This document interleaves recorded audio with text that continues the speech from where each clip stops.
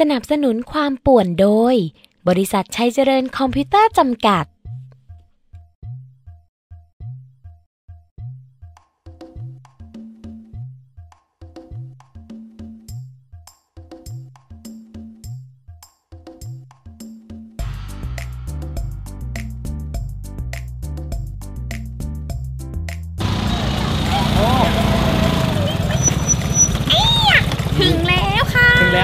แล้วถึงแล้วถึงแล้ว สวัสดีค่ะสวัสดีครับผักบุ้งป่วนชวนกิน ขอปิดเครื่องก่อนนะ วันนี้แบบแว้นกันมาเลยนะคะ ใช่แล้วครับ เพราะว่าช่วงนี้อากาศหนาวเย็นลงอากาศเย็นๆแล้วเราค่ะต้องมากินของอุ่นๆ ร้อนๆใช่อย่างแล้วนี้นะคะ วันนี้ค่ะเลยพาคุณผู้ชมทุกท่านค่ะมาอยู่ที่นี่ กับที่ร้านข้าวต้มเซี่ยงไฮ้นั่นเองอะนะคะเขาบอกว่าที่นี่เนี่ยเมนูเด็ดเยอะแยะมากมีมากมายหลายเมนูมากเลยออนะคแต่รับหลายคนบอกว่ามาชิมแล้วอร่อยต้องไปชิมด้วยตัวเองให้ได้ แล้วใช่รายการของเราจะพลาดได้ยังไงแล้วเราก็ใช่จะไหมคมาชิมข้าวต้ม ที่รสชาติแปลกๆนะครับที่เราไม่เคยกินหน้าตาแปลกเออๆนะครับ แต่เขาบอกว่าอร่อยจริงอร่อยมากๆที่นี่อยากให้ลองมาทานกันวันนี้ใช่ก็เลยแล้วจัดเลยค่ะ มาที่นี่กันแล้วนะคะ กับร้านข้าวต้มเซี่เฮ้ยยงเดี๋ยวไฮ้ที่นั่นรอเองก่อนเฮ้ยเร็วใจๆ เมร้อนนูจริงเยอะไงต้องไปดูมาเร็วๆเฮ้ยอันหนานดูดิเมนูเฮ้ยอันนี้ด้วยนะ นี่ครับท่านผู้ชม อันนี้นะ เยอะมากกินอันนี้ด้วยอันนี้ด้วย อันนี้ด้วยนะ อันนี้หิวใช่ไหมแล้วเนี่ย ก็สุดท้ายอันนี้ด้วยนะ รู้สึกว่าฮึนางจะหิวมากครับวันนี้ ไปข้างในกันดีกว่าไปข้างในดีกว่าครับ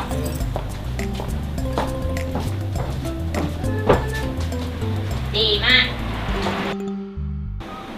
เอาละค่ะคุณผู้ชมคะ ตอนนี้เรามาอยู่กับเจ้าของร้านข้าวต้มเซี่ยงไฮ้กันแล้วล่ะอยู่ค่ะกับน้องปุ๋ยนั่นเองครัใช่บแล้วตบมือต้อนรับหน่อย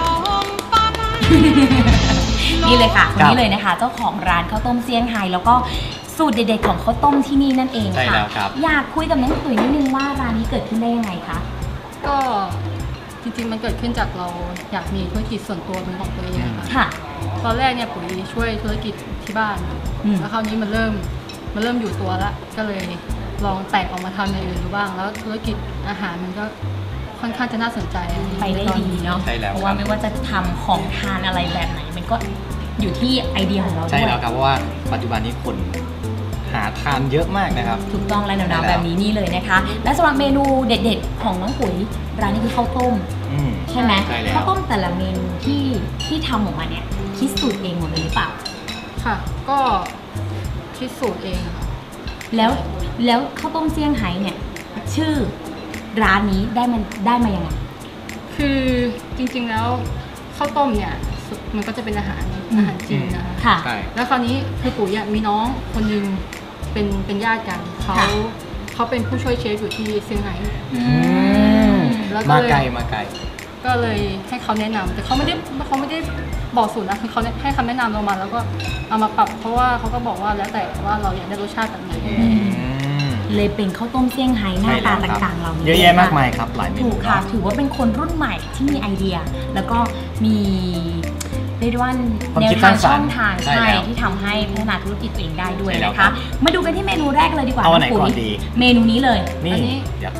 เมนูขอแรกย้ายเลยขอย้ายนี่ก่อนนะครับแนะนำกันหน่อยค่ะน้องปุ๋ยสำหรับเมนูอันนี้นี้เป็นข้าวต้มวุ้นเส้นจัดเต็มอะค่ะข้าวต้จัมดเต็บุมนมากเส้นจัดเต็มเต็มยังไงอะก็คือในหนึ่งชามเนี่ยก็จะมีตีนไก่กินไก่อย่างแล้วนี้ก็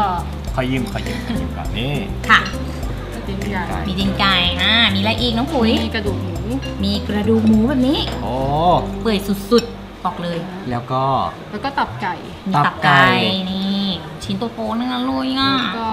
อันนี้เลยไข่ลวกไข่ลวกไข่อจะอนเอาไข่เซนลวกหรือว่าจะเป็นไข่ไข่ต้มก็ได้ใช่ไหมใช่ใช่มีสองอย่างค่ะเลือกแล้วแต่ได้จะด้วยชอบนะครัและบที่สำคัญนี่นี่นี่มีวุ้นเส้นด้วย อ่าวุ้นเส้นนี่จะเป็นวุ้นเส้นตุ๋นดอกไม้จีนนะคะตุ๋นดอกไม้จีใช่นมันก็จะหอมไหนๆก็ใส่นี่ใช่ปะช้อันนี้ใช่ไหมคะใช่แล้ว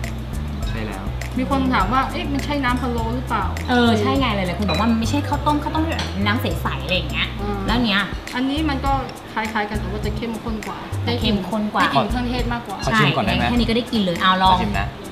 พลาดได้ยังไงใช่ไหมอืมเครื่องเทศไหมขึ้นจมูกเลยปะขอไหว้ก่อนนะครับ เครื่องเทศเฮ้ยน่าเกลียดมาก น่าเกลียดมากก็เครื่องเทศอะ เครื่องเทศก็ไหว้สิครับ เอคุณอเป็นไง จัดเต็มเลยนะจัดเต็มเครื่องครับเยอะมากสำหรับในหนึ่งเมนูนี้นะคะ ใช่แล้ว กับเมนูนี้อีกทีนึงน้องปุ๋ยต้มวุ้นเส้นจัดเต็มค่ะ หนึ่งเมนูแรกที่แนะนำให้ได้ชิมกันนี่แค่เมนูแรกนะครับ ค่ะ ไปมาต่ต่ออกักันนเลที่ยเมนูที่ 2 กันเลยนะคถูรับกต้องเมนูนี้อะไรคะน้องปุ๋ย อันนี้เป็นก๋วยจั๊บเซี่ยงไฮ้น้ำใสค่ะ นี่ไง โอ้เซี่ยงไฮ้น้ำใสนะคชื่รัอบ เดียวกับร้านมาแล้วนะ ใช่แล้ว คุณผู้ชมนี่ค่ะ เส้นจะเป็นแบบนี้น้องปุ๋ย เป็น อธิบายให้ฟังหน่อยอันนี้เขาเรียกว่าเส้นเซี่ยงไฮ้อะค่ะ เส้นเส้นเซี่ยงไฮ้นี่ไม่เห็นเคลือบช็อกโกแลตเลย สีแดงอะอ๋อ ไม่ทันนิสัยอะ มันลื่นมันลื่นนี่ค่ะ อ้าวน้องปุ๋ยว่าไป นี่ ก็เส้นนี้ก็จะต่างจากเส้นก๋วยจั๊บคือมันจะกินแล้วไม่อ้วนนะฮะจริงปะน่าไม่ทันแล้วล่ะ มันเป็นถั่วเขียว เห็นไหมกินแล้วไม่อ้วนอืมวันนี้จะกินแต่ละเยคำอะๆกินแล้วจะผอมครับผักบุ้งกินแล้วจะผอมแต่ราคามันจะสูงกว่านิดหน่อยอืมแล้วในหนึ่งถ้วยมีอะไรบ้างสำหรับก๋วยจั๊บอ่าเซี่ยงไฮ้ผักก็จะเป็นตำลึงค่ะ มีผักด้วยมีตำลึงแบบนี้ตำลึงแล้วก็จะมีเครื่องในใช่ใช่ไหมคะมันลื่นข้างในนี่จะมีกระเพาะกับหัวใจกระเพาะกับหัวใจตามตำราจีนเขาบอกว่ากินกระเพาะบำรุงกระเพาะกินหัวใจบำรุงหัวใจมีความรู้แล้วถ้าคนหัวใจเดาะล่ะก็ก็กินได้โอ้โหขอกินขอสิบกิโลอร่อยครับอร่อยเนี่ยแล้วก็มีเลยนี่อันนี้อันหมูนี้เด้งหมูเด้งค่ะหมูเด้งหมูกรอบด้วย อันนี้คือหนึ่งถ้วยของอ่าก๋วยจั๊บเซี่ยงไฮ้มีมีตำลึงด้วย นะครับต้องนะคะนี่หนึ่งถ้วย นี่ก็น่ากินมากชิมแล้วใช่ไหมชิมแล้วอร่อยครับ อร่อยหมดอร่อยละมากเลยนะ แบบร้อนๆแบบนี้ไง ต้องอะไรที่แบบว่าอุ่นๆแล้วร้อนๆได้ทานกันด้วยนะคะ เมนูต่อไปเลยน้องปุ๋ยอันนี้อันนี้แปลกอะอันนี้แค่ชื่อก็แปลกแล้วครับ เพราะว่าอันนี้เป็น signature signatureร์ของร้านเลย ก็คือว่ามันมันมีที่เดียวเนาะที่อุตรดิตถ์ถูกใช่แล้วค่ะ พี่ก็ไม่เคยเห็นผมเพิ่งเคยได้ยินเหมือนกันอืมชื่ออะไรคะ ข้าวต้มแห้งทรงเครื่อง ข้าวต้มแห้งทรงเครื่องมันน่าแปลกไหมยังงอะข้าวต้มข้าวต้มก็ต้องเปียกแล้วทำไมต้องแห้ง เออ ก็คือสำหรับคนที่ไม่ชอบทานข้าวเละอืม ๆอันนี้มันก็จะเป็นยกมือ ข้าวสวยนี่แหละ แต่ว่าอ่าแล้วมันจะมันจะนิ่มกว่าข้าวสวยนิดนึงอ๋อ เพราะมันผ่านการร่วมน้ำซุปมาแสดงว่าเป็นข้าวผู้หญิงเอข้าวสวยในนั้นลงไปในน้ำซุปข้าวก่ผัอนกบุ้งข้าวผู้หญิงสวย ผู้ชายก็สวยได้อ๋อเลย ไงล่ะ เออ เอามาดูกันครับ สำหรับเมนูนี้น้องปุ๋ยแล้วถ้าจะทานต้องทานยังไง คือต้องคลุกไหมอ่าแล้วก็แล้วแต่ แต่ค่ะแต่มันจะมีน้ำจิ้มก่อนอ่าน้ำจิ้จิ้มมกับน้ำจิ้มแซ่บอันนี้ราดไปเลยว่ะเป็นเด็กทานกับน้ำปลาก็พอน้ำปลาซอสอะไรอย่างงี้ใช่ไหมขอน้ำปลาด้วยค่ะ ไม่ไม่ไม่ไม่เอาเหรอเลยแล้ว เลยแล้วโอเคนะคะขอชิมเนี่ยก่อนเมได้ไหมนูนี้น่าน่าน่าลองมากอย่างนี้เอใช่อไหมแต่ครับข้าวล้วนมากอย่างนี้ใช่ไหมน้องปุ๋ยบอกว่าเอาใส่ต้องเลยนะเอาไปลวกน้ำมาก่อนสำหรับข้าวใช่เพราะว่าเมื่อกี้มันจะเป็นน้ำแบบคลุกคลิกนี่ค่ะใช่ค่ะขอชิมก่อนชิมก่อนนะครับดูแค่ข้าวมันก็มีรสชาติแล้วไงเพราะว่าเอาไปลวกมาแล้วแล้วมีน้ำซุปด้วยอืมอืมเออเออเขาบอกเลยครับซิกว่าเนเจอร์จริงๆน้ำจิ้มก็แซ่น้ำจิ้บมแซ่บมาก นอกจากเมนูที่เห็นอยู่ตรงนี้แล้วนะคะ ยังมีอีกหลายเมนูมาก ๆเลยนะคะ มีทั้งหมูยอนึ่งอีกใช่แล้วก็แล้ว เมนูข้าวต้มอีกหลากหลายเมนูเยอะแยะมากมายครับถูกต้องค่ะอันนี้อยากให้มาลองมาทานด้วยตัวเองจะดีกยัว่า งยังยังอืม นี่ เฮ้ยน้องปุ๋ยนนี้บอกว่าฝากด้วยบอกว่าเป็น ด้วยด้วยอะไรอะไรนะ นะน้องปุ๋ยอันนี้เป็นกล้วยหน้าหม้อค่ะ กล้วยหน้าหม้อ มองหน้าตากล้องเร็วค่ะงงไหมครับกล้วยหน้าหม้อ ยังไงงมันไม่อยู่หลังหม้อปุ๋แน่นอนอย่าคิดลึกอย่าคิดลึกคือว่า กล้วยอันนี้เป็นขอแกะนะขอแกะนะอะได้ เป็นกล้วยเป็นใช้กล้วยหักมุกทอดในหม้อค่ะกล้วยหักมุกไม่ตลกเลยครับกล้วยหักมุก เออ มุกฝืนเลย โดนหักไปแล้วไงเออวันนี้นี่เล่นเยอะเนาะเป็นอย่างนี่นี้อืมนี่เลยกล้วยหน้าหม้อเหมือนกล้วยฉาบมาที่นี่ก็ได้ทานนี้ด้วยมีของทานเล่นด้วยนั่นเองนะคะ น้องปุ๋ยบอกว่ากล้วยหน้าหม้อก็คือทอดในหม้อใช่เพราะฉะนั้นอย่าคิดลึกอย่าคิดลึก ใช่ทอค่ะดในน้องหม้อเอาละค่ะน้องปุ๋ยฝากร้านนิดนึงแล้วกันว่าร้านข้าวต้มเซี่ยงไฮ้อยู่ตรงไหนนะคะ แล้วก็ เปิดปิดวันไหนบ้าง เปิดกี่โมงถึงกี่โมง ร้านข้าวต้มเซี่ยงไฮ้เอ่ออยู่ตรง ตรงข้ามกับท่ารถเมล์พิชัยอืค่ะมอยู่วัดท่าถนนฝั่งครับ ริมแม่น้ำน่านริมหน้านี่เลยเปิด ค่ะ17นาฬิกาถึง 22นาฬิกาค่ะทุกวันจะหยุปะดทุกวันเสาร์แต่วันว่าเสาร์ แต่ว่าเดือนพฤศจิกาเดือนเนี้ยค่ะหยุดเสาร์อาทิตย์เพราะว่าติดภารกิจนิดหน่อยค่ะ อืมแต่ส่วนมากก็จะปิเฉดพาะทุกเดือนแล้วก็นี้นะครับหยุดวันเสาร์ฉพะวันเดียวเท่านั้น นะคะอะฝากร้านนิดนึงสำหรับร้านข้าวต้มเซี่ยงไฮ้ของเรา ก็สำหรับอ่าใครที่กำลังมองหาข้าวต้มที่มีรสชาติเข้มข้นใช่แล้วครับ แปลกกว่าที่อื่นก็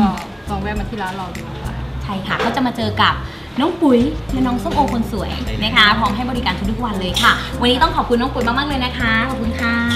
ที่ให้รายการผักบุ้งป่วนชวนกินได้มา เปิดร้านแล้วก็แนะนำให้คุณผู้ชมเนี่ยได้รู้จักมากแล้วยิ่งก็ขึ้อนย่างนั้นค่ะก็ทำให้เราได้รู้ว่าเมนูข้าวต้ม ไม่ใช่แค่ข้าวต้มธรรมดาถูคกรับต้องค่ะเป็นหน้าตาแบบนี้ให้เราได้เห็นใช่แล้วได้ทานกันด้วยนะคะ วันนี้ต้องขอบคุณด้วยนะคะสำหรับอ่าในส่วนของบริษัท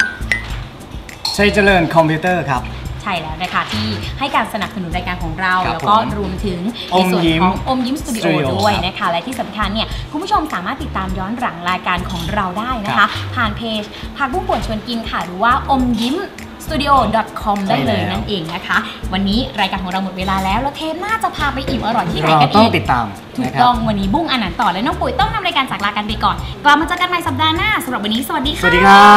บ